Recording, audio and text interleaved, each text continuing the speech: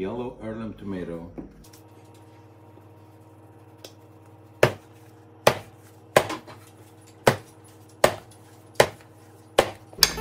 This is just hand crushed it. We get some of this beautiful orange. You look great. Let me put some basil.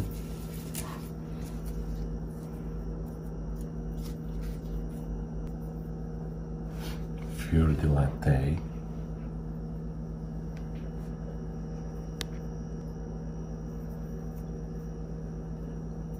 A little bit of Parmesan, not much.